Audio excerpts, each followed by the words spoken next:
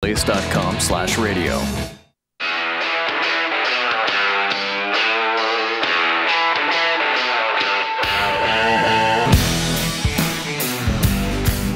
Pat Gray is here on the Blaze Radio Network. Ah, another jam packed day filled with fun and frivolity. Thanks for being with us. 888 900 3393. Also, uh, Pat Unleashed on Twitter. So, yesterday, the stock market uh, was rattled after there were reports that the Pentagon had been attacked. Uh oh. Apparently, there was some sort of AI image of an explosion at the U.S. Pentagon, and that caused a $500 billion market cap swing. Oh no, bro! What is Half happening? a trillion dollars. Okay, see, Wow. we're gonna have to rein this stuff in, man. Yeah.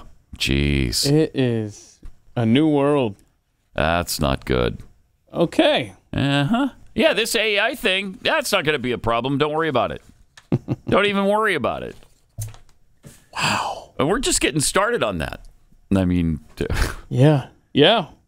we're this is just the beginning, Wait. and already it's causing problems. Yeah. Uh, I, I mean, I don't want the government involved, but we're gonna have to be Mm-hmm. more discerning when we're uh, looking at this stuff. That's Yeah, yeah. Uh, okay. I mean, a half a trillion dollars. That's not good. That's not good. we're entering a dangerous world. Pat. Yeah. Oh man. Jeez. I think we're in the dangerous world. Yeah. uh, getting deeper by the day. Also, a U-Haul truck crashed into barriers near the White House. There's a suspect in custody. Oh, so this is real. yeah, yeah, okay, this is real. okay, This is not AI, Okay. and uh, it's not set up by the government at all. Why would you? Why would you throw that in there? Look at the Nazi flag laying on the ground. Isn't that perfectly placed? Look Uh-huh. at this. Stop with the psyops. I can't take so when it. it crashed, the flag flew out of the truck. Is that what happened? I did the suspect What? say, "Wait, wait, wait!" Before you Wait, arrest me. Let me put my Nazi flag down first. Okay. Then you can take a photo of the area. Stop. I want it known that I'm a neo-Nazi. Okay, and then put this flag out, and I hate uh, Joe Biden. I This hate him. Government tries so hard to push a narrative. It's so I, that is just insane. Carefully placed Nazi flag right near the wreck. Spread out beautifully, Perfectly. for all to see. Yeah, it just happened to fall like that. I don't know if he was holding it out the window. Was it attached to the window? And when he crashed, it fell down perfectly on the ground? Who knows? I tell you. okay. The truck crashed on the northern side of Lafayette Square at about 10 p.m.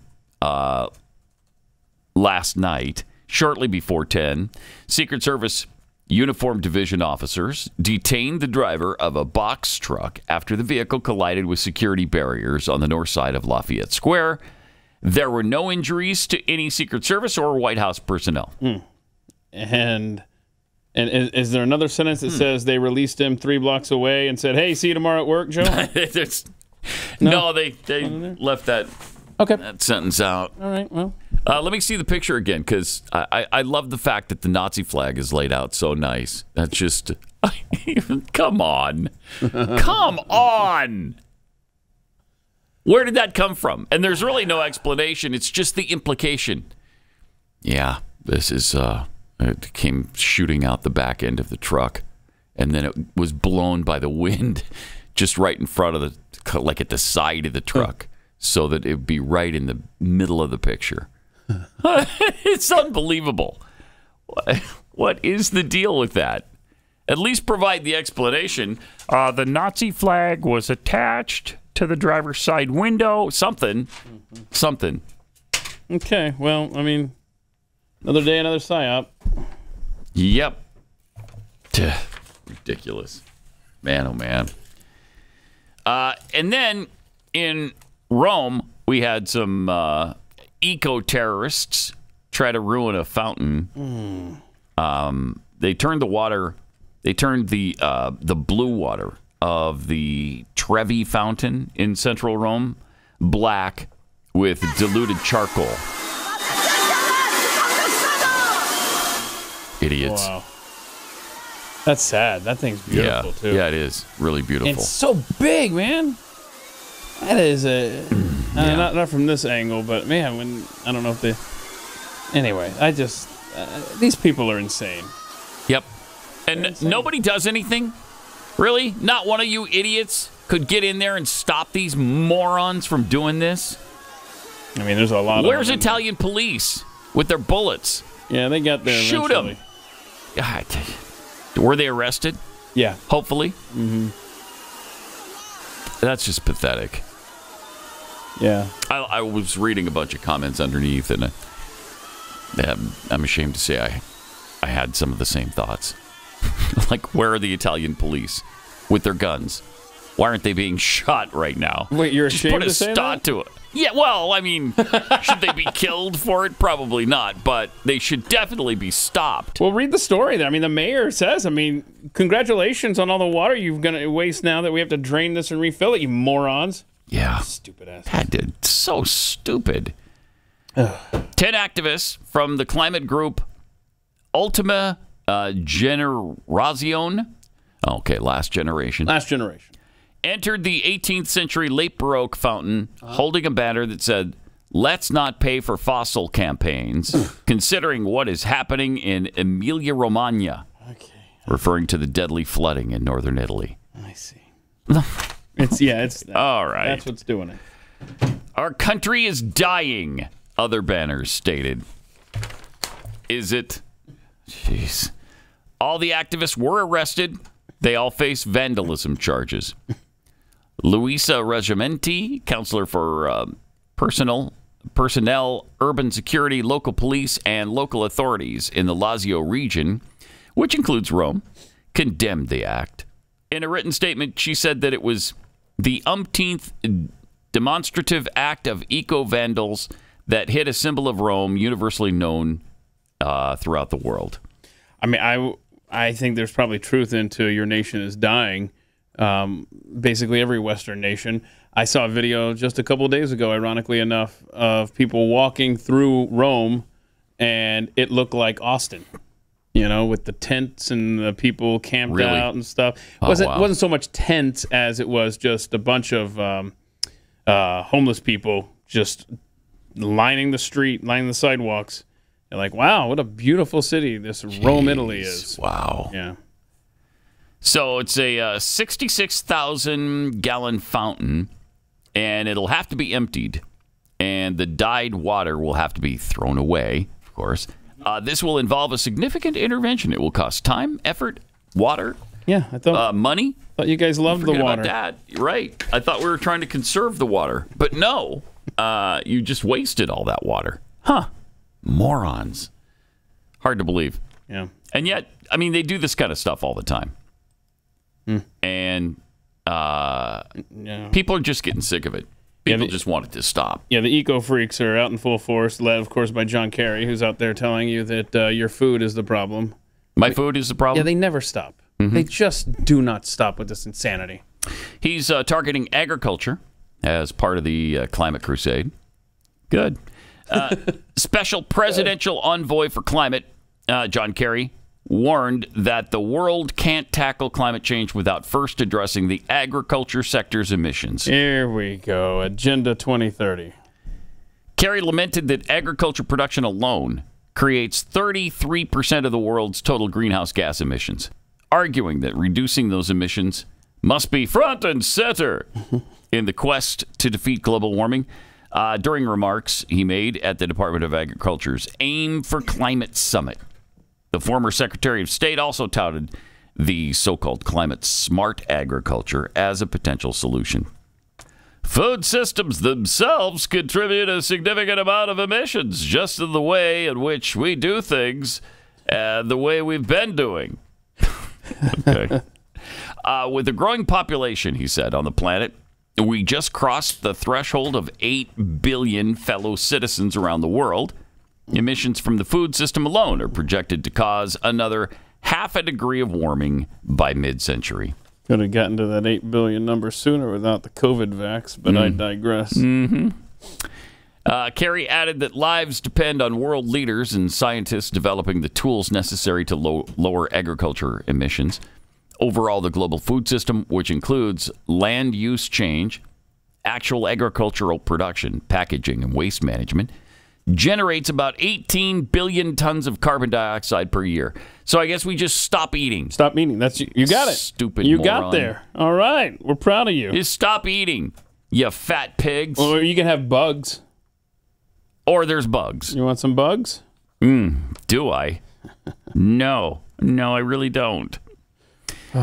Uh, I'd rather not eat, really. I'm with you. eat Oh, bugs. oh, I will I'd rather that. not eat. Oh, I'll starve to death before I'm eating a creepy crawly. Shut up. In the U.S. alone, agriculture alone generates about 10,000 10% of uh, the total greenhouse gas emissions. The sector needs innovation now more than ever, Kerry said. Uh, we're facing record malnutrition at a time when agriculture, more than any other sector, is suffering from the impacts of the climate crisis. We're facing record malnutrition Okay, that's just a flat out lie. That is just a total and complete lie.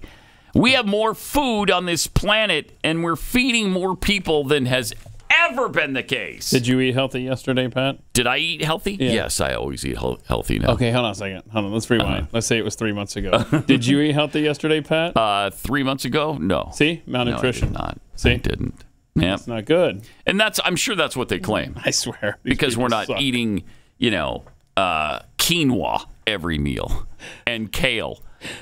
Oh, jeez. Gun to your head. Mm-hmm. Quinoa or kale. Quinoa. Actually, just pull the trigger. I don't want either one of them. Oh, snap. Yeah, just pull the trigger. it's just ended. That's almost as bad as bugs. Ah, these people are just ridiculous. Absolutely Well, the, the bad part or the worst part of this isn't that they make these declarations and uh, tell you how you need to live. They're they're not whatsoever conforming to the rules that they're setting out for oh, you. Oh yeah, right. Right. A hundred percent.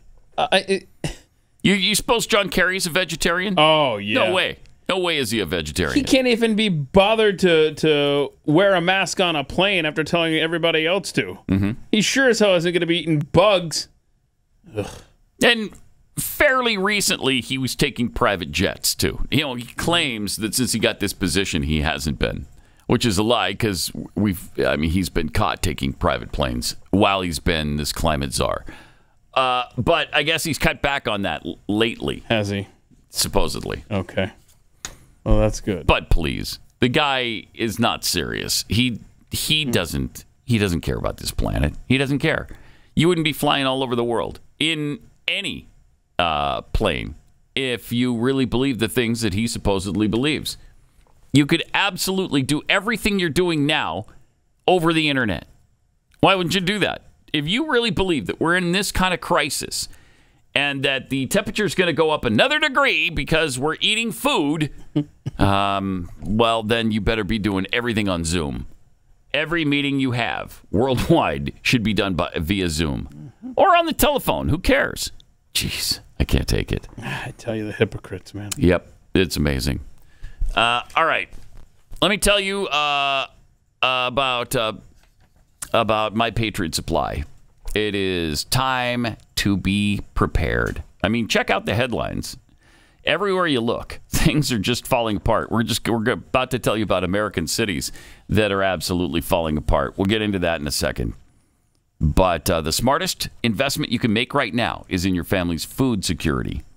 The reality is, you might not be able to find food when the next disaster strikes. John Kerry's coming for it. Yep. Plus, the supply chain problems uh, that are intermittent right now, they might be more than that at some point. And then you're really going to be sorry if you don't have a, a store of food. Grocery stores be empty because roads uh, will be closed, trucks won't be able to make deliveries. And when that happens, you need emergency food in full supply. That's why I really urge you to just Get a three month emergency food kit from My Patriot Supply. This is really the the bare minimum for you, I think. You get you through three months worth of disaster, and at that point, hopefully, things are getting back to normal, and uh, you know the supply chain has been reconnected, and you know food is back in the grocery stores. But this could get you through it. Also, when you order today, you'll save $200 on each kit that you need. Uh, having these kits means your family will stay fed while others stand in food lines. So don't delay this. Order your three month emergency food kit, save $200 per kit. And then once you're set with the three month supply, you might consider even longer than that for who knows, maybe a, a longer disaster. It's easy to order. Just go to preparewithpat.com. You'll get uh, fast and free shipping too. Do this today, or you, you'll regret it, regret it tomorrow. Preparewithpat.com.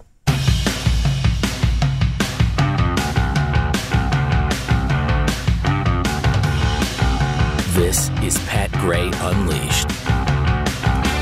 So we've got some uh, random violence and lawlessness going on. It's becoming American less cities. random. It's becoming less random, Pat. It's just every day, man. Check out this report from Los Angeles. Group of young males beating up the driver of a white pickup truck on Hill Street near 6th Street in downtown LA's Jewelry District hmm. Thursday afternoon. Okay. Another one of the guys can be seen smashing the man's truck with his bike. The truck's windshield is left shattered. It was horrible.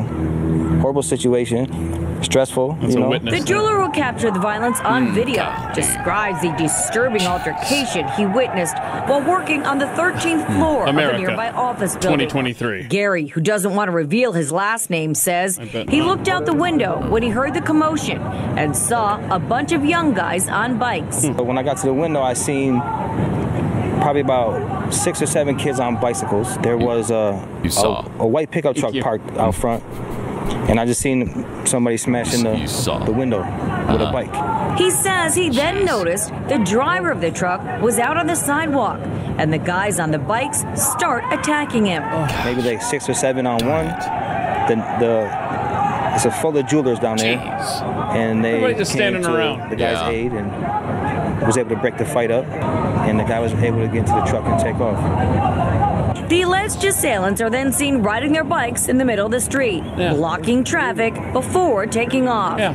As for what sparked the violence, Gary says he heard the driver hit one of the kids and tried to drive off, but got stuck in traffic. This is when they were able to catch up to him, you know, banging on his windows, banging on his truck, and then he pulled over and jumped out, and uh, he got worked. However, another jeweler reportedly Hmm. says the guys on their bikes were swerving Yeah. in and out of traffic Still like they it. own the road. Yeah, still doing it. And the driver of their truck apparently honked at them after he was cut off in traffic. Jeez. I mean, My gosh. that's how you resolve issues in America 2023. Yep. You just, uh, You just uh, a mob yeah, it descends on you. attacks a guy. Mm-hmm. Jeez.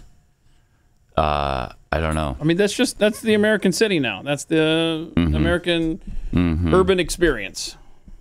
There's also a brawl that broke out at an amusement park in Chicago, so that's fun. Okay, okay. Here's that report. Look at that. All right, that's a good view though. If you're gonna see, if you're gonna be there, you want to do this from the Ferris wheel because Yeah. you're up high and you'll go, no, don't come down. Oh no, now I'm down here.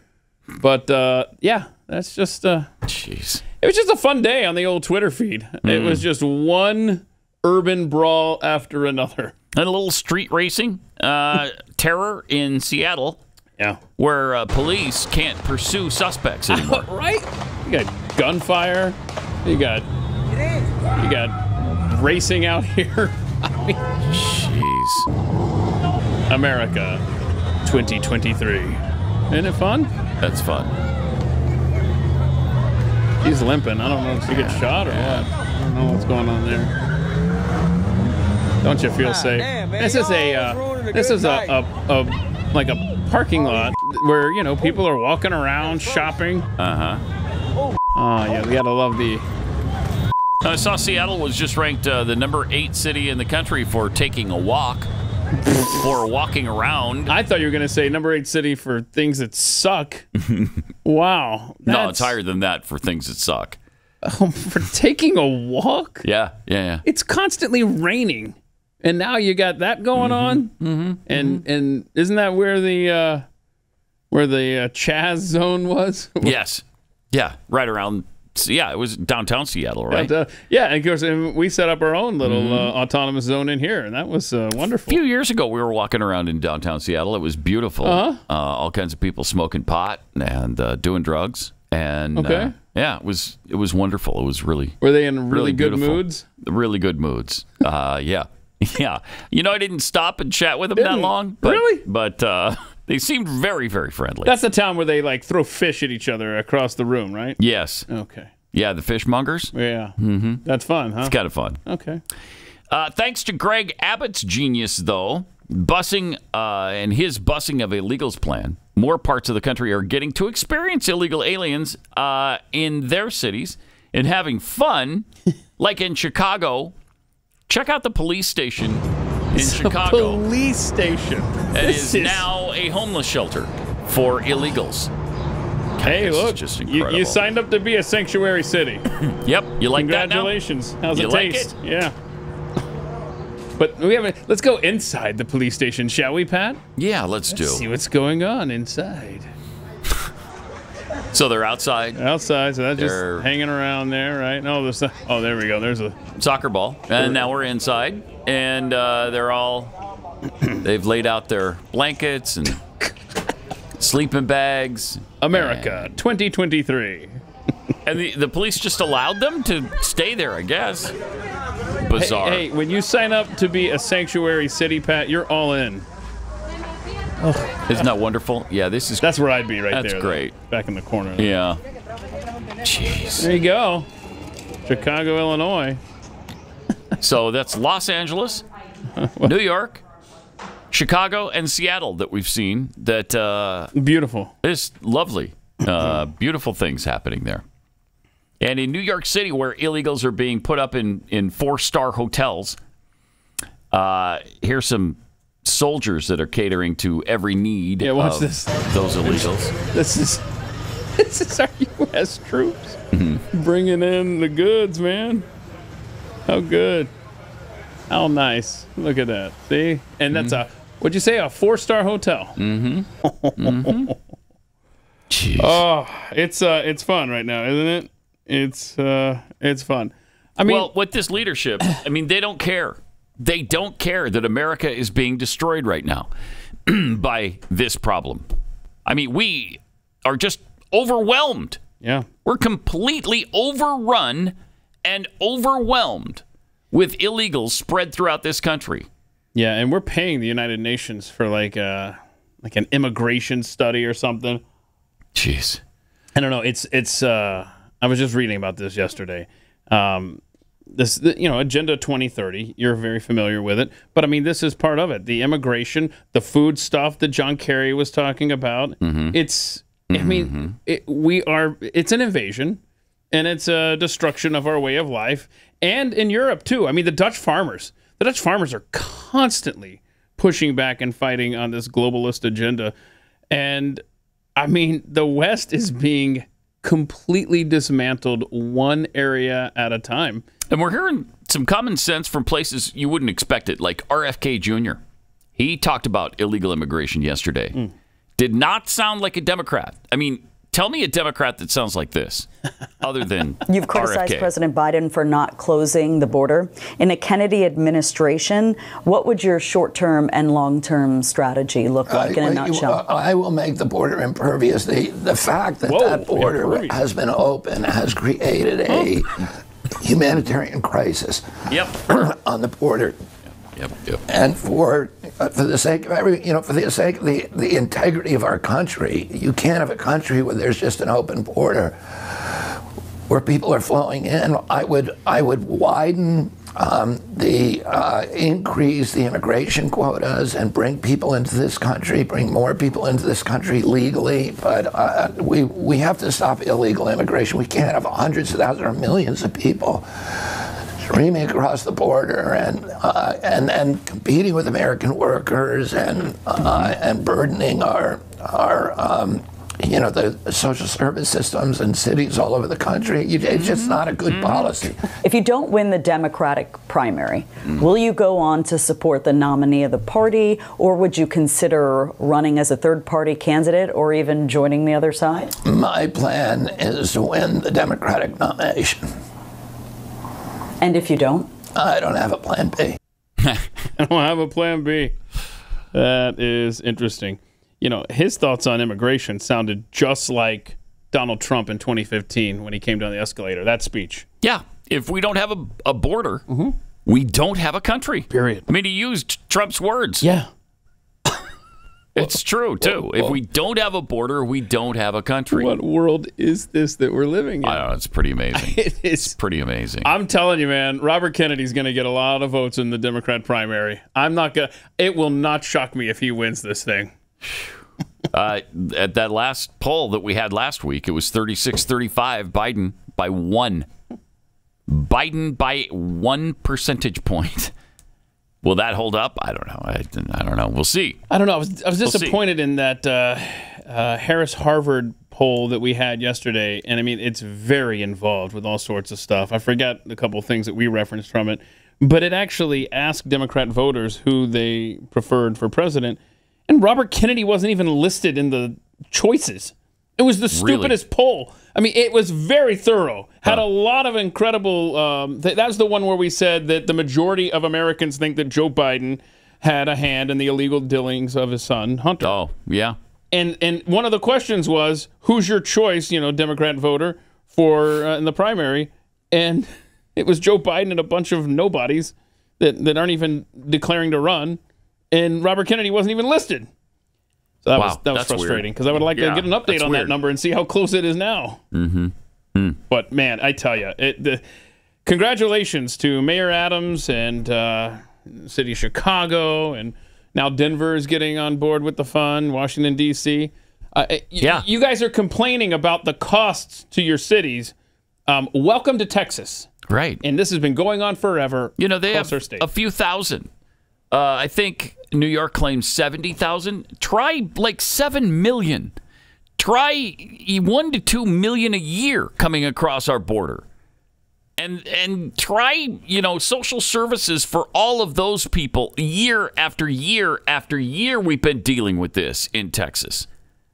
Uh, so I don't want to hear your belly aching in New York. I don't want to hear it. It was. They thought it was so cute when they could call themselves a sanctuary city. Yeah. and not have to deal with anything. How do you feel now? Well, let's. This is. Uh, Is that a good idea? where the rubber meets the road. Let's you see know, how you like it. not one of those mayors wants to proclaim themselves a sanctuary city now. you, you don't hear them babbling about that. Oh, we're a sanctuary city. You can come here and we won't bother you at all. We're not going to send the police after you. Really? It might be a All right. time for another uh, trip to Martha's Vineyard. Yeah. By the way, Yes. Just I don't know, man. This is we are a nation that is falling apart Mm. in all areas. But at least they're joining us. they're at least they're feeling our pain on the immigration Mm-hmm. front. Yeah, And something, you know, maybe something will get done now. and we got more. Like if you guys are, are running low on illegals, we got plenty down here. Oh, well, and Abbott just said he's going to keep doing this. He better. He's going to continue doing it. He better. So, so you're going to have plenty of opportunity to feel our pain because uh, there's, you know, thousands coming across every day, every day, 10, 12,000 a day. Crazy. Uh, yesterday in the Minnesota legislature, lawmakers had some fun with pronouns.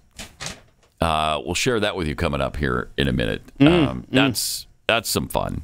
Yeah, yeah. And uh, we got to revisit that thing you talked about yesterday about what Target is selling in their stores. Oh my gosh, That is, uh, That is amazing. oh, The Satanist clothing.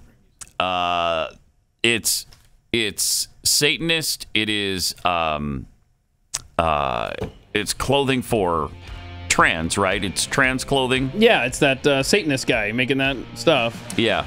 We've got one of the items we got to share that we didn't have a visual on yesterday, which is just It's shocking, but Interesting. Here we are. Plus, a Ford commercial from a while ago that is uh, interesting. We'll share that with you as well. Coming up.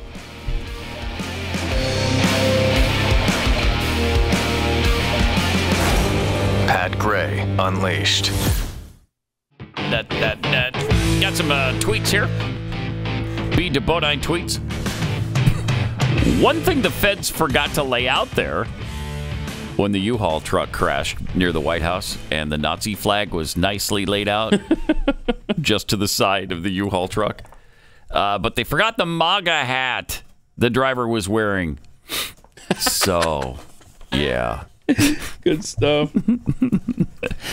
Uh, Sarah the Roma tweets, I don't listen to the climate alarmists that also fly around the world in private planes and live in mansions whose carbon footprint is a billion times bigger than mine. No joke.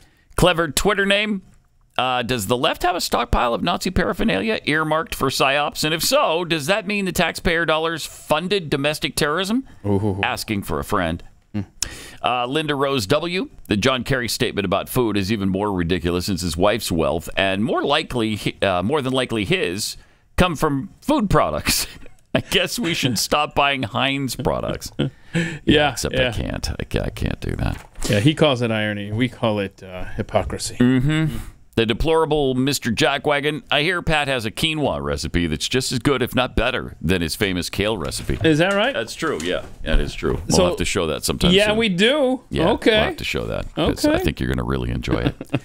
uh, yesterday in the Minnesota legislature, lawmakers had some fun with pronouns, which is great. Point of order, Mr. Speaker. Okay, you're raising a point of order. State your point of order. Thank you, Mr. Speaker, and I'm happy to start over with that. Thank you, Mr. Speaker. what rule are you citing, Representative Demuth? And I would note to your parliamentary inquiry, Representative Kozlowski is crossed off on my list. I'm not sure why she wasn't Okay, crossed off on your list. All right, there Uh, but what's your what under what under what rule are you citing a point of order, Representative Demuth? Okay, so watch this. Some guy's going to come up here and Hmm. whisper something. And he says, I'm sorry. Sorry. Sorry. Oh, gosh, sorry. Oh. What is he sorry about? What, Thank what- you, um, Mr. Speaker, um, and I do appreciate. we- I know maybe my list has not been updated from What- your, what was the your prior apology note, and I appreciate the staff work that is done. So I, in no way, am um, disrespecting our staff and the work that they do so regularly. Um, point of order under 10.05, Mr. Speaker. Representative Demuth, before I um, uh, recognize you for that point go. of order, I would like to correct myself. That is Oh, the no. custom and usage of this chamber No, to no. Um, use the proper gendering of our Oh, members, no, and that no. um, Good, the proper good. pronoun to use was they. And so I would um, They, readjust that's- my comments that they are have been excused on my list. Representative Demuth. Thank you, Mr. Speaker. Okay. We're not a serious society. Okay, come on now. It's over. Come on. Uh, the proper pronoun to use was they. No, not if you're speaking of a singular person. they is not appropriate. It was a good run, y'all. Wow. Can you, like, I, I see stuff like Mm. that, and, and I just, oftentimes I think, if the founders dropped Oh, into that gosh. spot Yeah. and, and, and witnessed this, They put some gallows outside the uh, legislature and they'd start hanging people just for destroying the country because that's what they're doing. We are It's exactly what they're doing. a serious country anymore. No, we're not. It's over. Yesterday, we mentioned the Satanists making clothing uh, for Target, and we didn't have the actual pin though. But look at the look at the pin that you can buy at Target. You can get this online, I believe, or at the store. And uh, there it is. Because you, you had read this quote. This Yeah, Satan. Satan respects pronouns. That's all you need to know about pronouns. Man, And look closely. Look in the back there. There's a look at that. There's a starter um, Ouija board oh man, for all your Yeah. uh, contacting evil dead spirit needs. yeah. But they want you to know, usually these Satanists, that they don't really believe in Satan. Oh, Yeah, which is exactly what Satan would have you say about him. He doesn't really exist. Don't even worry about that. Sure, they're worshiping him and they're praising him, but he doesn't really exist. It's really all about respect for humans. oh, is that Is what it- it is? Is it? Get out of here. It's despicable and, of course, evil. Wait, respect for humans. Yeah, it's yes. respect for humans that Yes. they want ripped out of the womb? Yes. Right. Oh, okay. Right. Hmm, okay. Well. But I mean, that's because you don't know what's in there. You know, Oh, I see. could be a, a Volkswagen, Okay. could be a clump of broccoli, Got it. Okay. could so be a little bit of asparagus. So that okay. I- you don't know what it is. That's the loophole. Is it a Buick? I don't know. Let's wait and see. No way to know. Oh man. Uh, but we are just bending over backwards uh, in this culture. Last year, I think this was last year, and I think they're bringing it back again for Pride Month. All right. Is uh, Ford Motor Company with the Ford Raptor. It's a truck that uh, got dirty out in the wild. Yeah. Okay, and then it, it gets sprayed. Okay. and Let's see. you see, there's two trucks actually. Okay. One of them is red. Oh, look, rated P for progress. Pat. Oh, good, good. Okay. So Okay, so muddy. yeah, tough Ford trucks in a muddy area with not a really good road. So Can I just ask a quick question? Um, I'm a truck owner. Mm-hmm. Um, it, it, I've never been in a position like this where I've just been like, man, I got some free time to go and dirty up my truck. Is this like a practical use for yeah, a truck? I'm sure it is. I'm sure this is what most people do with their Racing in the mud? and they're about to go through some water, and it's going to clean them up. Uh huh. Uh huh. Gonna and clean then them up. you're going to see a really nice red Oh, truck. there's the there's the the rogue The water hose out there in the middle of the woods. Yeah, that you see so often out in the woods. So one of them got sprayed off. Now this one gets sprayed off, and it's it's a rainbow truck. All right. It's a gay truck. It's gay. Isn't that great? It's That's a gay gay. truck. That's beautiful. Is that beautiful or what? Ford is making a gay truck now because they're redefining tough. Now, Nothing says tough like a gay truck. so it was born gay, right? That Yes. truck. Okay. Yes. So clarify. That came out of the factory like that. Anybody remember the argument? Hey, so what if gays can marry? How does that affect you? well, here is how it affected the rest of us. It opened the floodgates and it burst the dam. Because for the radicals in that community, it was never about just gay marriage. Tolerance used to be their big byword. Anybody remember that? Well, tar- tolerance isn't even mentioned anymore. Why? Because we're light years beyond tolerance. Now it's acceptance. Now it's embrace. Now we promote. And the only only thing left is to actually become part of the LGBTQIA2 plus community. I mean, truck commercials, beer, athletic shoe companies, they're all uh, turning to LGBTQIA2 plus spokespeople or themes to sell their products. Nearly every commercial now features them. And every show on TV and movies, all of them feature gay relationships. All of them. Sometimes the majority of relationships on these shows are gay or trans. The LGBTQ lifestyle is injected into our kids' programming. They forced drag queens on our kids in libraries and schools. They encourage kids' attendance at sexualized drag shows.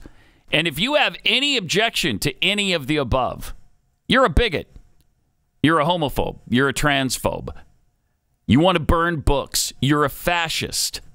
I mean, next month, LGBTQIA2 plus celebrates their pride over the way they have sex. Isn't that what Pride Month is all about? Gay pride is mm-hmm. about the their their pride over the way they have sex. I, that makes me think they they should honestly change the the term Pride Month to Sex Month Right. They should. because that's They what they're celebrating. Right.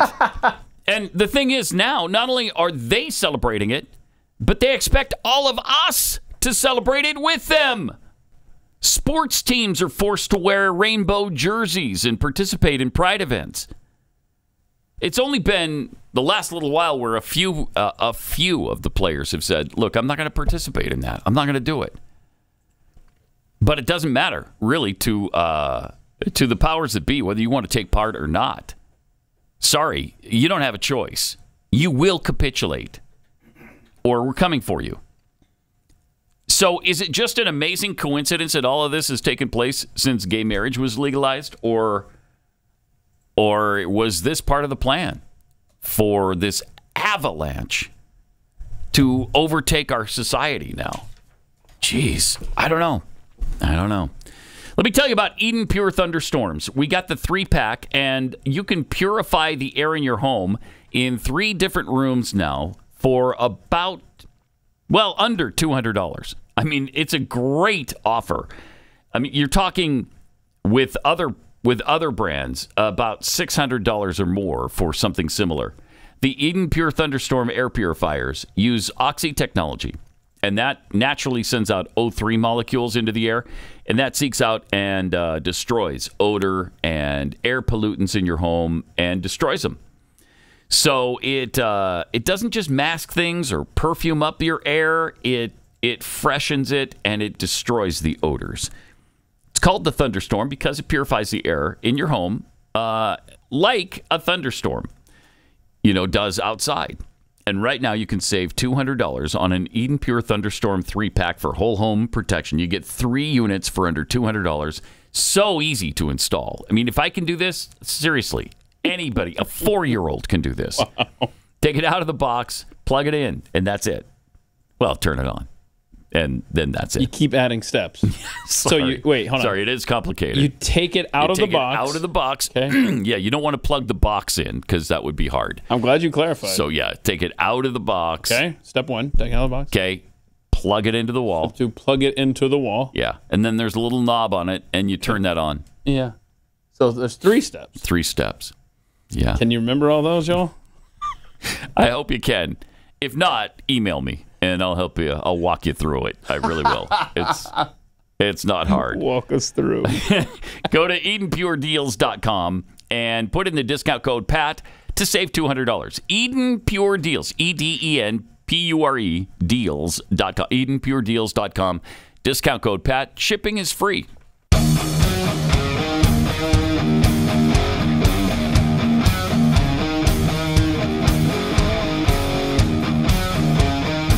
Gray Unleashed.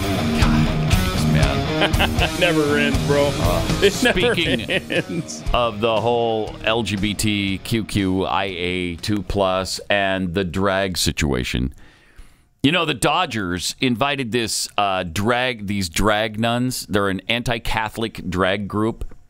They mock Catholics, and they invited them to a Pride night because, again, everybody's got to celebrate Pride night, whether you're part of that community or not. We all have to join in now and uh, celebrate June together. the whole month is for the way some people prefer to do sex. So isn't that fun?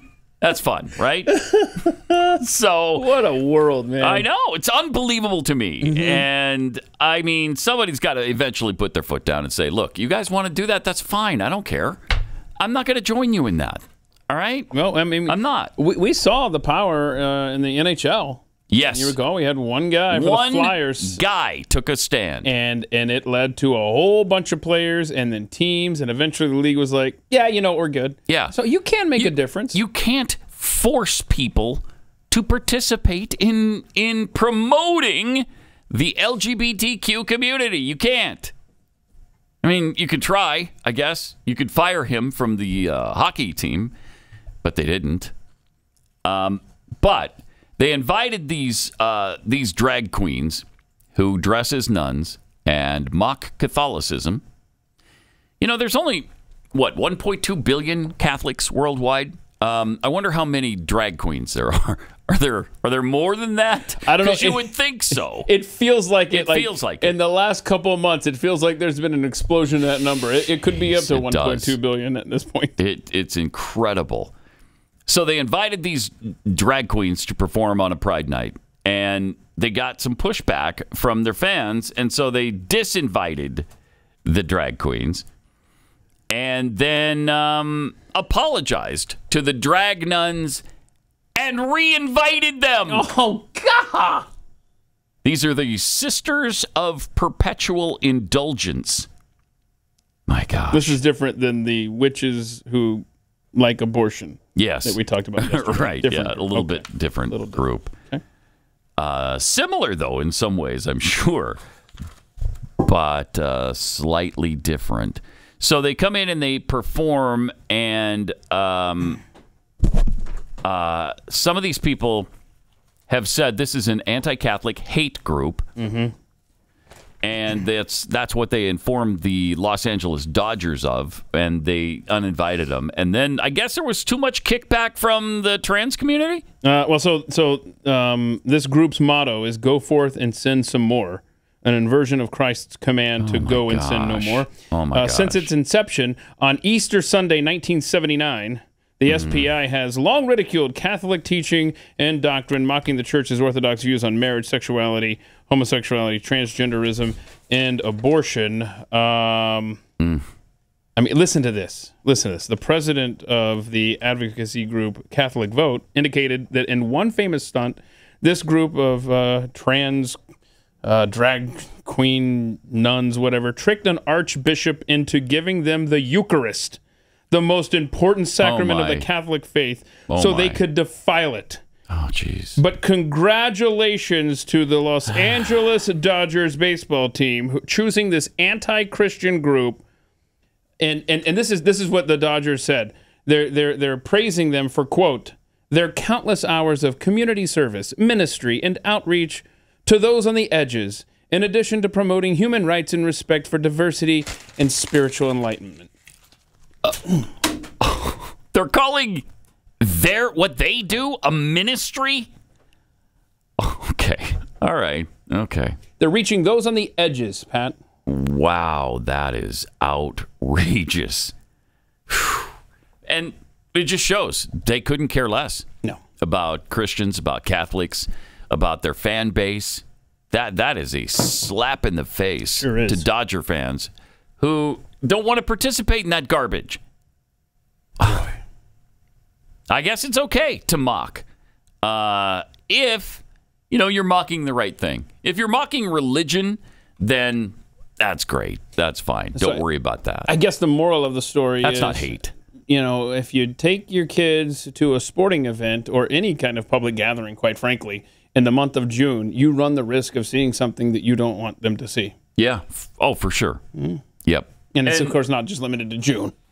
and whatever and whatever you're going to during the course of the month, um, eh, just know that whoever's putting on that show, they don't care. They don't care about your sensibilities at all, or the sensibilities that you have for your kids. Just doesn't matter. The only sensibilities that matter are the trans and the drag people. That's it. And that's why the Dodgers apologized and reinvited them. Pat Gray Unleashed. Coming up on Thursday, we've got another off the record for you. Uh, this will be at 11 o'clock, 11 in the morning, Central Time. So that's uh, 12 Eastern, 11 Central. I'm going to be hosting the off the record private Q&A exclusively for Blaze TV subscribers. It's your chance to just chat with me about anything and everything that's on your mind. Uh, we don't have any big tech censors looking over our shoulders, so no topics uh, off limits. Um, so if you're not a Blaze TV subscriber, go to the Blaze T- go to blazetv.com slash off the record and sign up today so you can join the conversation. Use a promo code off the record. The other Blaze TV hosts and I are uh, going to be doing these live chats on a regular basis. I think it's about once a month. Yeah, and that's the important thing is that you want to tune into these live so that you can participate with your questions. Mm-hmm. I mean, you can go back and watch it later if you like, but you're going to lose the opportunity to Exactly. question in. So answer anything and everything um, Thursday, 11 a.m. So go to blazetv.com slash off the record. Subscribe today so you can be there and, and join us. 12 Eastern, 9 Pacific. Thank you, Key. Which makes it 11 Central and uh, 10 Mountain. What time is it in Alaska? I don't know. Eight. Eight? Yeah. Is it eight? What about Hawaii? Uh, six? I think seven. Seven? I think seven. Let's, let's, Is there only an hour difference between Alaska and Hawaii? Do they do the time change there? Current time is two and one, so they're five hours. Yeah, so Mm. seven, Mhm. six, five, four, Three two. No, so there are two more. My gosh, Mhm. so weird. Wow. What time is it in Guam? Actually, this would be on Friday in Guam. yeah. Yeah. So deal with that. Yeah, because I remember one time I was thinking, when do people in Guam watch NFL football? And I did the time thing, and it was Monday morning. Oh, really? And I thought "Ah, that's kind of weird. That is kind of weird. I'm glad I don't live in Guam. Yeah, so then it Frankly. becomes like Tuesday evening ish football instead of Monday night football. Right, which is not fun. That's not good. That's not right. That's just wrong, frankly. Uh, Tim Scott has announced he's running for president. Isn't that great? Okay, cool. Yay! All right, that And even better, good. Chris Christie has just submitted paperwork. Chris Christie is going to run for president. Yeah. Can you even imagine what would possess Chris Christie to think he has any shot at becoming president of the United States? Go home, Chris. Yeah, come on. Get get on the plane and get out of here. Come on. when Trump told him that. Go home, Chris. Okay, this is Uh, There's there's really two people who have a shot at the Republican nomination. I think Donald Trump and Ron DeSantis. Other than that, maybe Vivek. I don't know, Vivek. Vivek Ramaswamy. he's gotten quiet lately. He has. I Wonder what's going on there. I don't know, but I, I really like him. Uh-huh. I really like him. I don't know that he has much of a shot, but he's really good. So, do you have a list in front of you? Put you on the spot here of people that are confirmed. Glenn Beck. Hello. All right. Do you All have right. a list of people that are confirmed on the Republican side? Um, That are confirmed. yeah, that are running. Uh, Nikki Haley, okay. Tim Scott, yes. um, Chris Christie. Uh, right? Yeah, I don't. He's just filed papers. I don't think he's announced. Oh, okay. Uh, Donald Trump. Donald Trump, Ron DeSantis. DeSantis Oh, yeah. announces tomorrow. Is that right? Tomorrow. Mm-hmm. Um, Vivek. Mm, Vivek. That's six. Is that it? I, I, Oh, Mike already- Pence. I think Mike Pence is. If he hasn't announced, he's going to. Um, and there's another guy who doesn't have a shot. You don't have a shot, Mike. What What are you doing? So Don't waste our time and yours. it was Larry Hogan already got in and out, like he did the hokey pokey. Yeah, You know, he's he's already out again. Um, is that it? that was smart to get out. Yeah. Getting in was not smart, but getting out was smart because no, you don't. Nobody even knows who you are, Lair. Okay, Lair. Nobody even knows who you are. so so that's an interesting uh, field there. Yeah, it is. And and It's a good field. It's way better than than the Democrat. Of course, I mean Robert F. Kennedy Jr. is uh, a decent candidate, I think, to go up against Biden. Uh, Marianne Williamson, not so much. cool. Oh, did I say so this on the show? I can't remember if it was on the show or in a conversation.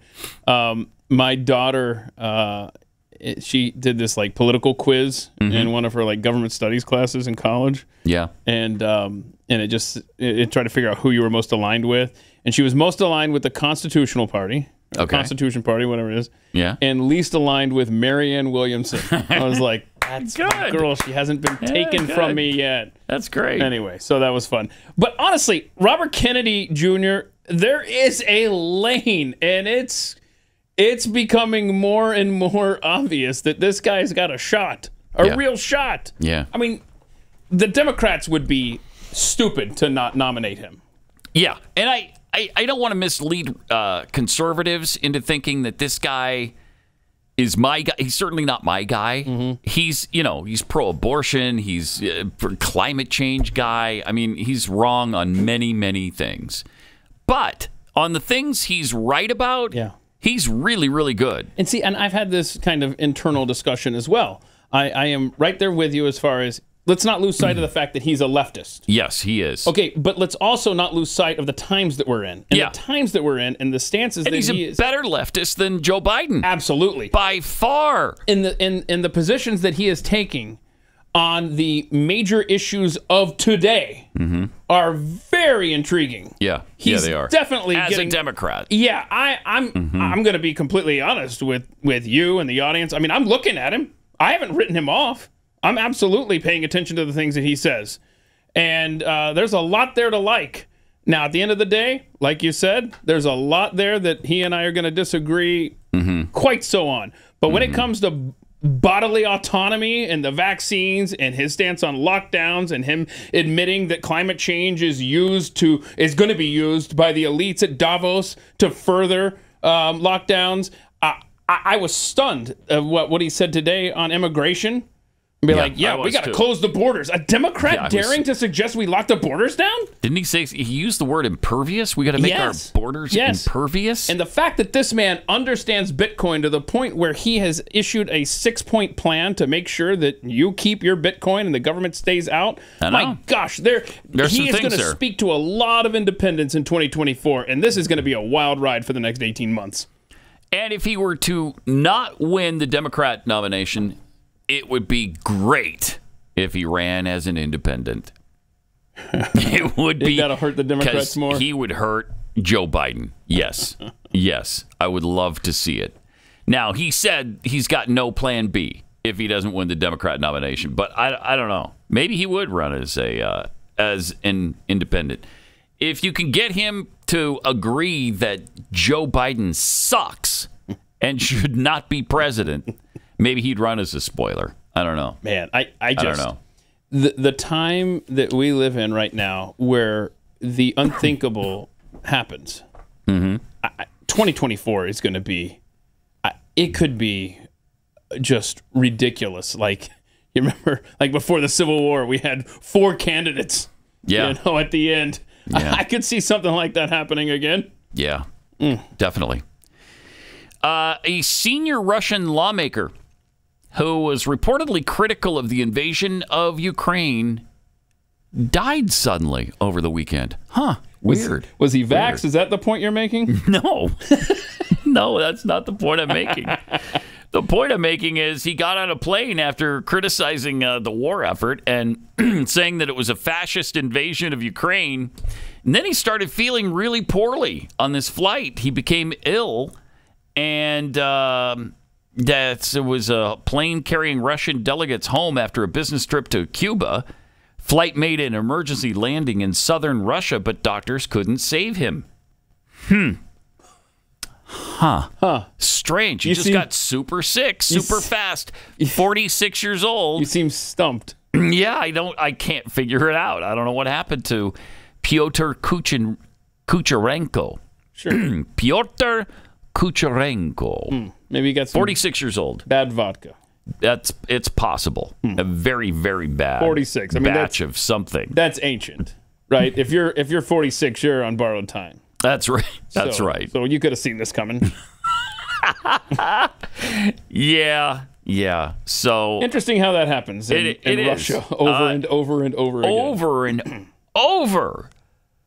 Uh, it's this is amazing. Um, Kucherenko allegedly told one of his friends that it was impossible for him to leave because authorities had taken away his passport. There's no world that would be happy to see a Russia, a deputy Russian minister after a fascist invasion.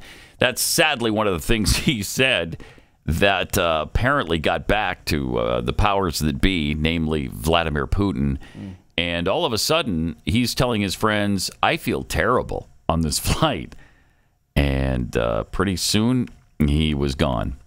Uh, that's really sad. I, I mean, over and over and over and over, this has happened with Russian oligarchs, uh, Russian lawmakers, people who have fallen out of windows, people getting sick. Uh, in February, a military bureaucrat who criticized the Kremlin for losses in Ukraine suddenly fell 16 floors to her death in St. Petersburg. Um, that was about the fourth or fifth person who had fallen out of a window and died. we got to ban windows in Russia. Yeah, you got to stay away from the windows. We tried to issue that directive a while ago for Yeah. Russians, but they didn't listen to us. Didn't listen to Pat Gray. They keep they keep falling out these windows. Similar accidents have befallen prominent individuals in Russia's energy sector. Uh, Ravil Maganov, the chairman of the board of Russia's second biggest oil company, Lukoil, died after falling from a window, a hospital window in Moscow in September. Another Lukoil executive died in, a, in strange circumstances just a few months earlier, while other energy figures have recently been involved in suspicious hangings and murder suicides. Huh. I'm I'm sure it's just the stress of the job. That's probably what it is. Hmm. You know? Yeah, it must suck being a Yeah. was it oligarch. You said. Mm-hmm. Yeah. I mean, you got billions of dollars. You don't know where to put it. How many banks do I have to use in order for it to be FDIC insured? You know, it's it's stressful. And then pretty soon you're falling out a hospital window. Wow, that escalated fast. it did, didn't it? oh boy. Yeah, man. It ain't easy being an oligarch. no, it's not. Or a Russian lawmaker. Or Russian uh, lawmaker. yeah, the- whatnot.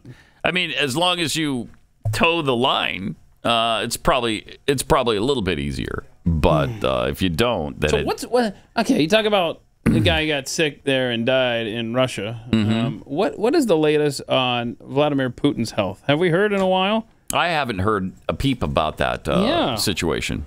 Supposedly he has cancer, but then haven't heard much about that lately. I'm just looking here. Let's see. Uh, so New York Times. I just googled this, and it says uh, New York Times story from April 26th, so just a few weeks ago. Mm-hmm. Documents reflect persistent, if unfounded, speculation on Putin's health. Let's see. Leaked materials include unsubstantiated intelligence about Ukrainian politicians claim Russian leaders undergoing chemotherapy. So, in other words, we have no idea. So, we're going to print a story anyway. Okay. So, we don't know. We, don't, know. Uh, April 12th. Yeah, all these are just questions. Yeah. Now, now here's something from April 11th that says Putin suffers from blurred vision and numb tongue. How do we know that? Doctors panic over his health. Has he has he talked about his numb tongue? I don't know. Let's see here. the new development comes at a time when there are various rumors surrounding the Russian president's deteriorating health conditions. So a numb tongue. my tongue. Wait. Would he even notice? Would he even notice? No, Would it's he, numb. He wouldn't feel so it. no. Oh my goodness. I don't know, man. So very strange. All right, let me uh, have you picture for a moment uh, what it would be like if all of a sudden the global medication supply chain of antibiotics just disappeared right before our eyes. You know, most of our medicine that we have in this country is manufactured in places like India and China. And you can bet that if things go wrong, they're not going to worry about our needs. So, what do you do when all of a sudden you or somebody you love needs antibiotics and there simply aren't any to be had? Well, the answer is you should have a supply on hand in case of disaster. The Jase case from Jase Medical is a great way to keep yourself prepared for the worst. It's a pack of five different courses of antibiotics that you can use to treat a long list of bacterial illnesses. Uh, it's a great way to be ready for shortages. It's perfect for traveling. So don't be caught unprepared. Go to Jase Medical, J A S E, Jase Medical. Enter the promo code PAT at checkout. That's promo code PAT at J A S E, jasemedical.com. Pat Gray Unleashed.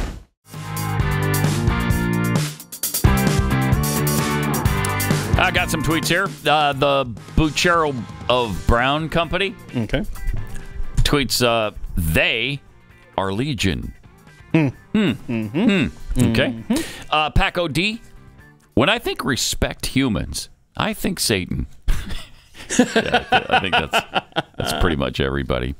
Uh, DMX DM tweets that Ford commercial is rated P for pandering. Oh, Mm-hmm. very good. Yeah, and Rowdy Introvert.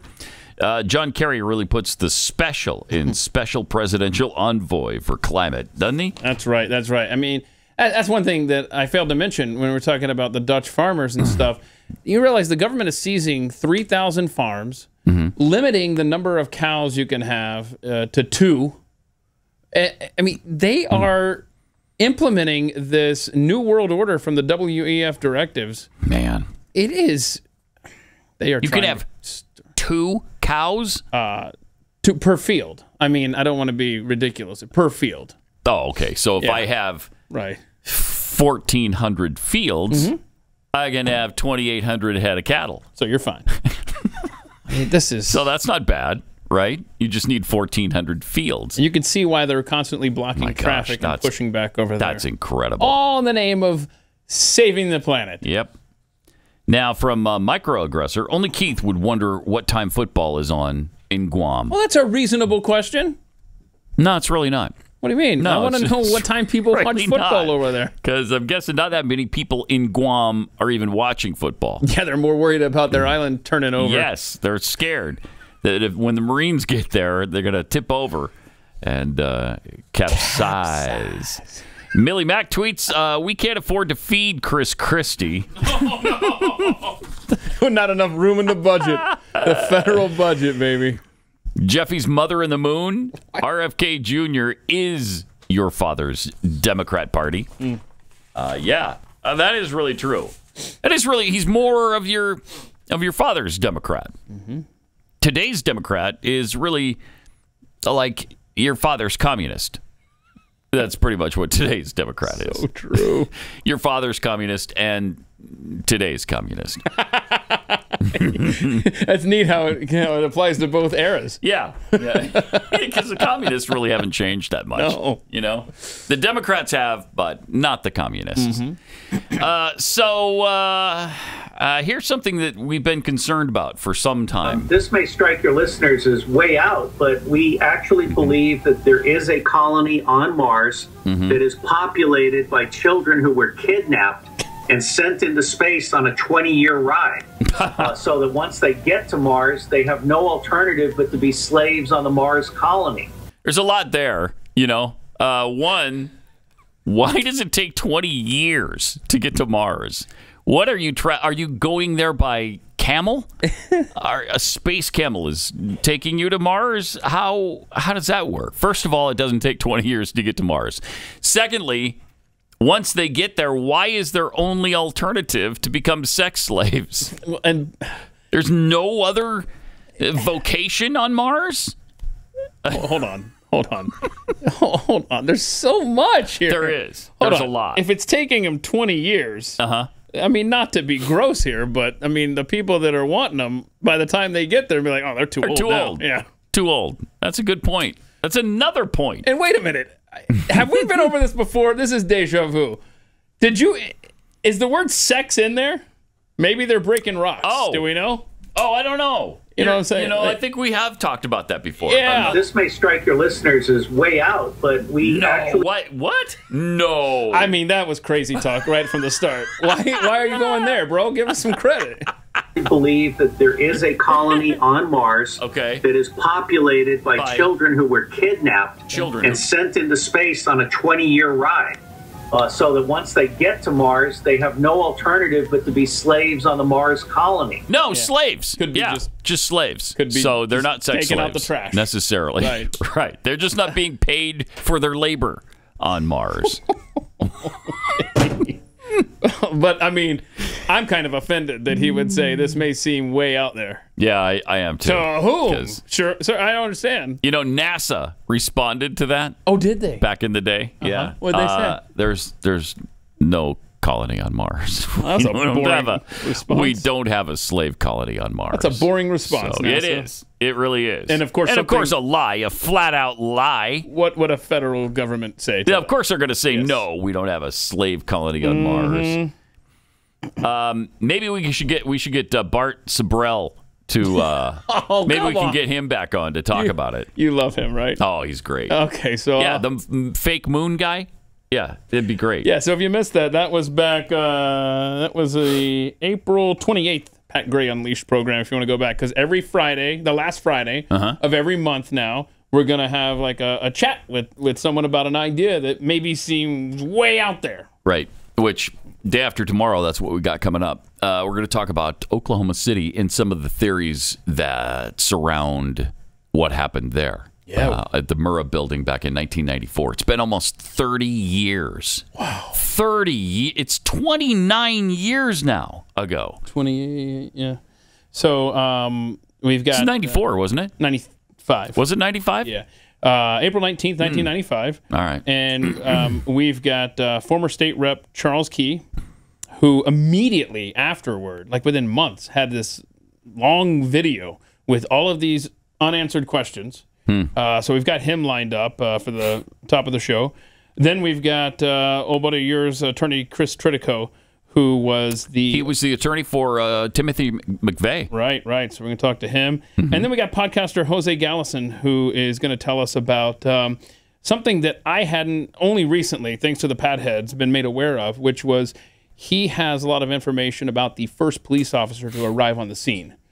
And there's a lot of issues. It's a story I didn't know about until recently. Yeah. It's really weird. About his mysterious death and what he may have known. Hmm. There is so much, So much. to Oklahoma City Yeah. that we don't What happened to the John Doe number two that we heard about so much? Yeah. Middle Eastern descent, Mm-hmm. John Doe number two, seen by 20 people or more. Mm-hmm. Uh, and then all of a sudden, nah, there, there's no John Doe number two. it was just Tim McVeigh and, uh, and Terry Nichols. Terry Nichols wasn't even around at that time. So it wasn't him. Who was the Middle Eastern descent guy? Who's who's that? And why did you just all of a sudden drop that? Weird. Some Mm-hmm. weird stuff there. Very much so. Yeah. Uh, I don't know if they wanted to deal with it. I don't know what the deal was there, but we'll get into all of that Yeah. Yeah. On Friday. If you have questions, you know, be sure to uh, send them to us through Twitter uh, at Keith Malinak, at Pat Unleashed, or I guess maybe call and join the discussion Friday morning, huh? Mm-hmm. Uh, between uh, 7 and 9 Eastern. Uh, the number is 888 900 3393.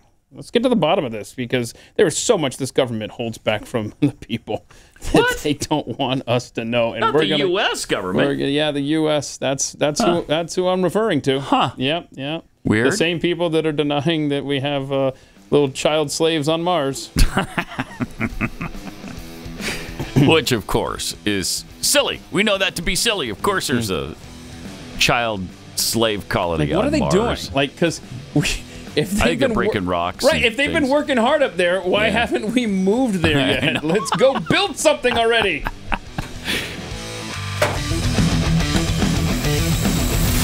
This is Pat Gray Unleashed.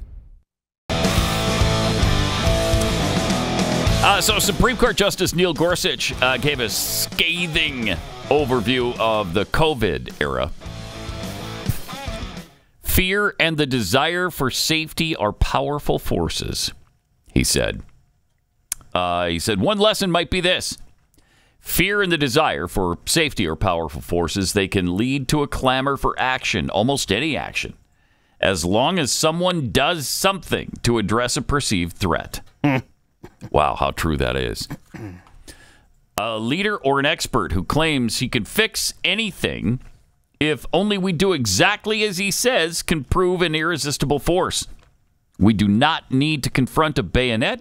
We need only a nudge before we willingly abandon the nice uh, nicety of requiring laws to be adopted by our legislative re- representatives and accept rule by decree. Wow, really uh, true. Uh, Gorsuch was writing as the justices dismissed a pending appeal over the ending of Title 42, uh, which was used between March 2020 and May of this year to expel migrants. Migrants. Illegal aliens. migrants uh, denotes that they came here legally. They didn't, so they're illegal aliens. Um, also, speaking of the COVID pandemic and the panic and you know the mandates that they imposed on us, um, this is interesting because Grabien put together a montage of uh, what many people were saying about forcing kids to wear masks in school, and it's really important that we not forget uh, the kinds of things that they were saying because this will happen again. They've already been setting it up that another pandemic is coming and it's inevitable. And, uh, well, we already showed you what has to be done the first time. And if you want to save more lives, we're going to have to do it even more ridiculously the next time. Right. Anyway, here's what they had to say. A really striking comment that you made in this interview. You said, from a broad public health standpoint, and I'm quoting you now, a few weeks at the ago. population level, masks work at the margins, maybe 10%. In the schools, everybody should wear a mask. It's asking Wait, kids to wear a mask is uncomfortable, but you know, kids are pretty resilient. Kids are resilient. And if anything, this is hmm. going to build resilience in our children. Will this have long term psychological effects on, on young kids, do you think? Hmm. No. I don't think so. So. I think, in fact, it's good. Masking uh, is very important, particularly in the schools. Masks are safe, masks do work. I have a nine year old. He tolerates masks for everything. I don't hear him whine, just like I don't hear him whine about his seatbelt or his bike helmet. Children have no problem with what is going on. They want to deal sensibly by way of the science with COVID. They've said Yeah. we have no difficulty. Pause it for a with- sec. That's one thing kids used to say to me all the time during the pandemic. I mean, four or five year olds would come up to me and they'd say, you know, we want to deal with the science of this pandemic. Really? So we're only too happy to continue to wear these masks. Wow. I, if I had one kid say that, uh-huh. you know, You had how many? If you had one kid. if I had one, it would have been more than actually said that to me. So uh, let's hear the rest Mommy, of let's trust the science. That's stupid. All right, there's Children more. have no problem with what is going No on. problem. They want No to problem. deal They wanna do it. They by way want of the it. science Oh my with gosh, COVID. this is They've said we have no difficulty with students wearing masks. Sure. When I look at the history of the world, and when I think of like my parents and grandparents growing up in depressions, fighting wars, kids always had a part to play too. And Yeah. when I look at the fact that they're just wearing a mask, but they have a roof over their head, they have food. A mask is basically non-intrusive completely. I've yet to see a child whose mask was bothering him or her. Are in you fact, in the emergency department, the kids are the best ones at wearing masks, and they often help their parents put masks on correctly. Pause it for a second. Uh, that is outrageous. I have yet to see a kid who will willingly wear the mask when they're really small like that. Are you kidding me? My head's going to literally explode listening to this garbage. You can't forget these people. Mm. You can't forget Right. what they put you and your family and your kids through. Yep. And this is just the masks. We're not even talking about the vaccines yet. Yeah.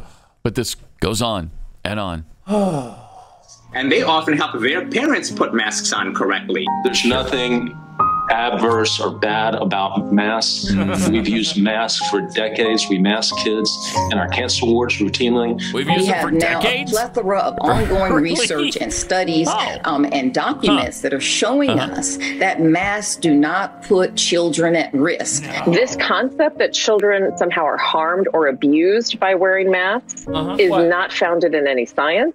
It's simple. Uh, it does no harm. Uh, my kids wear them to school. The idea that children won't wear masks is actually an abdication of leadership to say that we can't ask them and won't set an example for them. Those 50 million children need hmm. to protect themselves by wearing masks. If I'm going to get on an airplane, I don't have to wear a mask, uh, but I will have my kids wear one. I don't think this is politically uh, dividing at all. I wear masks, my kids wear masks. I don't understand why parents are not listening to the science, not teaching their children to wear a mask. My responsibility, if I am lucky enough to be the next governor of Georgia, is to look at the science, Look to at the follow the, protocols, and to set the right You need a example. mask. Thank goodness she was not lucky enough to to be the next governor of Georgia. And classrooms of children, they are happy to wear masks. Oh, they're happy. be They love it. by the They fact do. that children have so much neuroplasticity that if this is a bump in their social development, but Uh-huh. that they can repair very easily. Uh, you don't go to school naked. Uh, and right now, you shouldn't be going to school without a mask. You're not likely to be able to be exposed to something and spread it to mommy or daddy. And it's not likely mommy and daddy are able to spread it to you either. So I wouldn't worry about it, baby. I promise you. That's why we need to make sure children are wearing masks in school. Wow. Gee, that is incredible. Not only do they not uh, mind it, they love it. They love to wear masks all day long at school. Super comfortable, helps them breathe. You know, it, all that stuff gets kind of glommed into the mask Builds character over the course when of you're the day, and then in. they're breathing more of that. Sure, yeah. What that does is um, it helps your immune system because Uh-huh. your immune system immediately starts attacking all that stuff. So you're continually all right. You you have an active immune system. it's really good for them. It's it really is, and they love it. They absolutely love it. You know, not being able to breathe all freaking day.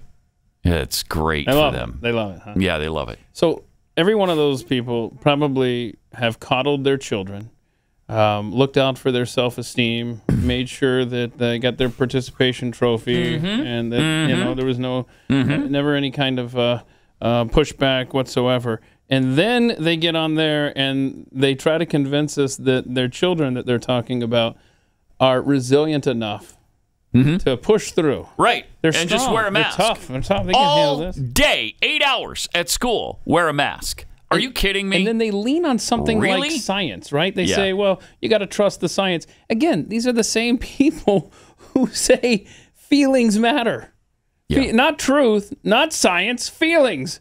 At, at these, ah, boy, I was enraged over three years, but that was spread out over three years. And then to have it all condensed in uh, three minutes, I know. I'm angry. I know. It's cr- that was nuts. That was just nuts. How long's the delay today, Lance? Oh my gosh, I can't with these people. Probably somewhat close to the delay that exists every day. Not enough. Yeah. It's not long enough. I've got things I need to say to these people. oh, Uh, let me tell you about uh, taking care of your liver. It's more important now than it ever has been because the latest data from the American Heart Association indicates that adults with fatty liver were three and a half more times uh, likely, three and a half times more likely to have heart failure than those without. Wow. The American Liver Foundation says that 100 million Americans have fatty liver, and that means a lot of us are at risk. You know, we just throw everything at our liver, and it's expected to take care of it the cholesterol, the alcohol, toxins, Tylenol, statins, cigarettes, all of that stuff, which is why so many people have sluggish, fatty liver that makes us gain weight, lose energy. For decades now, your liver has helped you with over 500 key functions every single day. It's time you help your liver, and there is a solution. It's Liver Health Formula. It's an all natural supplement, contains 12 clinically proven botanicals that will help recharge and protect your liver. It's manufactured right here in the United States. It's approved by American doctors. And you could try Liver Health Formula and get a free bottle of nano powered omega 3 to help your heart be healthy. Try Liver Health Formula by going to getliverhelp.com slash pat. Getliverhelp.com slash pat. Claim your free bonus gift. That's getliverhelp.com slash pat.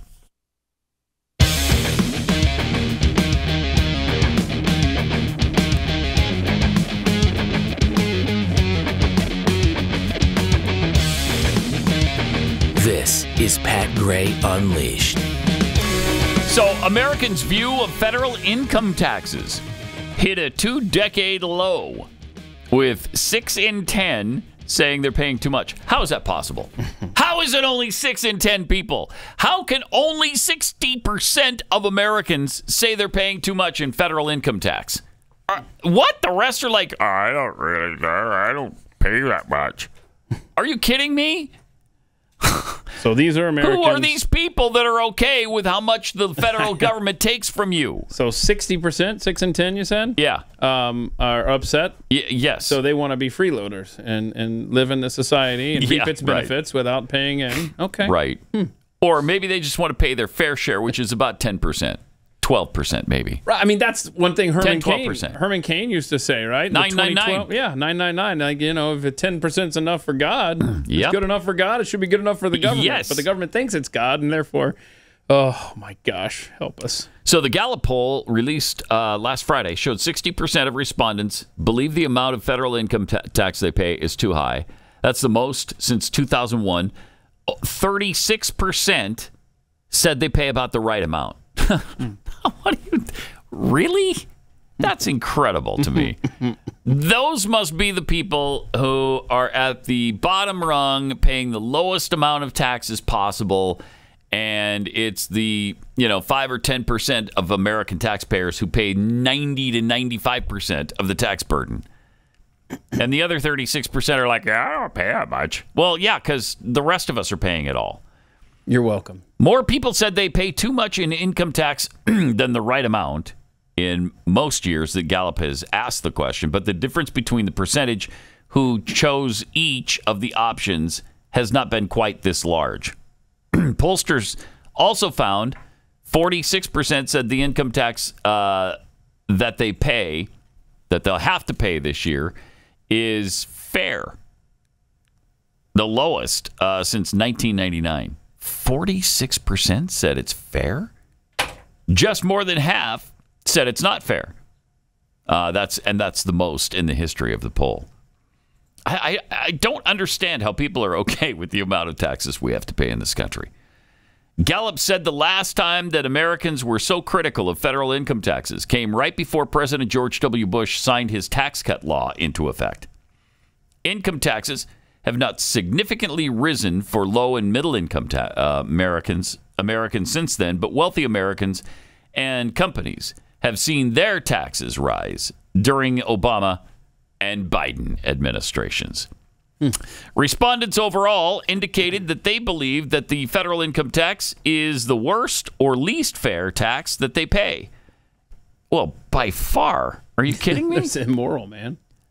Just more than a third said the federal income tax is the worst, a 14 point increase from the 20% who said so last time they asked the question. The tax previously considered the worst, local property tax. Oh, okay. Well, yeah, okay. Yeah. Uh, I'd have a tough time choosing which is worse. Welcome to Texas. Yeah. Oh, my gosh. The local property tax is. Don't even get me started on But that. But you don't pay an it right income tax, Pat. yeah, right. I know. I know. Oh God. Uh, but the people thinking local property tax was the worst fell from 35% in 2005 to 29% who choose who chose it now. I you know, I'd I'd put them tied.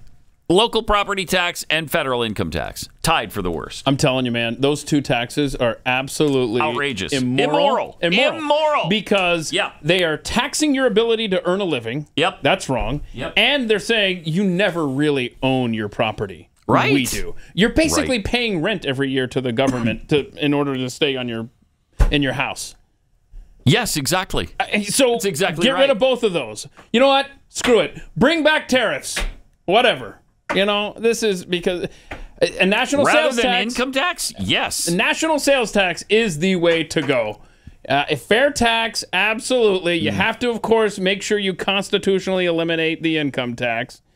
You got to take it up with your state legislatures about. I don't even want to talk about fair tax until you do that. Right, right. When sure. you take that step, then talk Yeah. to me about about the fair tax. And the, the way it was originally proposed, I think it was like a, just a trigger. You know, you pass this, then that one, or something. I forget. But Mhm. anyway, I mean, then you are then then then it's in your hands. You are making the decision to spend money and get taxed. I mean, if if the Russians can get by on a 13% tax, how is it that the United States of America can't? You've got a communist country that does a 13% flat tax. What? I, how is it that we're paying 40% in some cases? Ah, it's outrageous. Congratulations to Karl Marx and his progressive tax taking hold. uh, yeah, curveball here. over here. Here. Crazy. Didn't see that one coming, did you? 20th century scholars. And yet, here we are. Isn't it great? It's a great place to be. Oh, it feels good. I'm loving it. Who else was it that was in a battle? Was it was it Georgia, the nation Georgia? Yeah. In a battle with Russia, they were trying to get the lowest flat tax uh, going in that area, and so Russia. I think Russia had a 15 percent that they lowered to 13. One of the two lowered it first, and the other lowered it right after. Wow. Yeah. Uh, I'm, I'm looking up the lowest income tax among nations. Uh, wow. Oh, oh, oh, oh my gosh. I'm moving. I'm just letting you know right now. Lowest income tax. Well, there Is? are. This is just a. Okay, here we go. So I've got 14 options. You ready? All right. Uh, uh, Okay, I, this isn't laid out very well, but it says there are 14 countries with zero income tax and four offer citizenship or residence permit by wow. investment. You don't even have to move there. You just have to invest there. Wow. Uh, among the countries with the lowest tax rates in the world are Malta, Cyprus, Andorra, Montenegro, and Singapore. Aside from zero income tax, eh, pop up ad. Aside from zero income tax in Antigua and Barbu- uh, Barbuda, right? Uh, let's see. Individuals are also free from paying taxes on wealth, capital gains, and inheritance. Suddenly, I like the beach. Wow. Foreigners can obtain Wow. Malta or Cyprus residency and register a company to optimize their taxes without having to live there for most of the year. Nice. huh. Before choosing the country for tax optimization, check if your primary country of residence has a double tax treaty with the country you want to move to or open a business. This is from uh, immigrantinvest.com. Maybe I'll post this on Twitter so you guys can take a look and see if uh, moving to an island nation is right for you. My gosh. That's We- we- amazing. I mean, we are. Uh, we are out of control in Oh, this yeah. country, and, and and keep in mind what's the big issue that a week from tomorrow, uh, a week from Thursday, we're supposed to hit the debt ceiling because they don't have enough money coming in, and they're like, oh, we're going to raise taxes, and Mm-hmm. thankfully McCarthy for now is saying that's a non-starter, and it better remain that way, Speaker McCarthy. Yes, please. Don't be raising. Don't you dare raise. And Biden keeps mentioning it too. Yeah. They won't even consider raising, but he won't actually say the word. He won't say it. I mean, how many times have we heard him start that sentence and then not finish it? Well, then he'll say, raise revenues. right. Yeah. Shut up. Why don't you call it what it is? If you're so, you know, married to the idea, the federal. If you love it so much, why don't you marry? Why don't you marry it? I, I swear, they, they produce nothing, the government. They just leech Right. off of you. Yes. They depend on your hard work and you playing by the rules Mm-hmm. in order to get by. You know what? They don't play by the rules. Why the hell should we anymore? Seriously, it's gotten to that point. I'm so frustrated as an American citizen. Why the hell do we pay taxes anymore? It's it's. I'm not advocating that you stop paying your taxes, but I'm telling you, it sure as hell is tempting. You wind up in jail if you do. so. Whatever. At least they'll pay me. They'll, they'll feed me, right? They'll feed me in jail. They will. That's I'll give you three squares Because. John Kerry's out there trying to mm-hmm. take all of our food. If I can avoid eating bugs and put me in prison, whatever. Ugh, just over this crap. Did another word almost slip out there? Wow. I told you, Lance. man. I told you, Lance. Today's the day. Today's the day. Uh, oh man. So uh, we've got all this talk of the debt ceiling and the Uh-huh. 14th Amendment and all of that. Uh, they talked to Laurence Tribe at the Gazette. Which Gazette is this? The Harvard Gazette. It's like the student newspaper. I believe. Okay. Yeah. What does the 14th Amendment say about the nation's debt? Laurence Tribe says uh, the text of the 14th Amendment is explicit. Section 4. Uh, I think we read this on Glenn's show yesterday. Oh, did Section, you really? Section, yeah. Section Oh. 4 of the 14th Amendment says the validity of the public debt of the United States authorized by law, including debts incurred for payment of pensions and bounties for services in suppressing insurrection or rebellion, shall not be questioned. Okay, so if you incur debt fighting an insurrection, then you you don't even ask about it. You just got to incur that debt. This is a guarantee that the U.S. will always be good for its debts, for all its debts. Period. So, how can a law passed by Congress in 1917 establishing a debt ceiling decide which debts are valid and should be paid and which are less valid and can be put off? Uh, Tribe says, in my view, a debt ceiling law can't legitimately do that. But there's a catch. By leaving that law in place and threatening for the first time ever not to raise the ceiling as needed to pay all the debts. What do you mean threatening for the first time ever? They threaten it every time. I know. It is threatened every time. Mm-hmm. This is the dance that is done every time the debt ceiling deadline nears. Well, what if we don't raise it?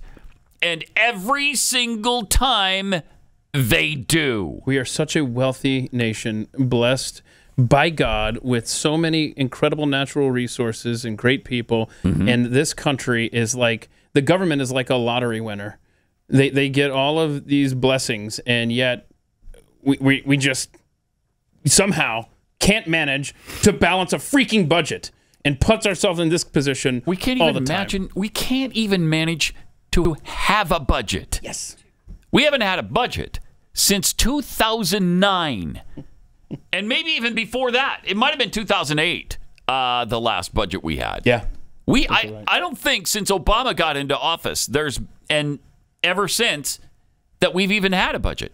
Yeah. We we have these continuing resolutions which continually raise the debt ceiling. There really isn't a debt ceiling because every time we get near it, they just push it up again. Yeah, and this this this really tortured argument for the Fourteenth Amendment. They've Man, oh, they man. they they're- Oh, it's they've tried to make it in the past. Yeah.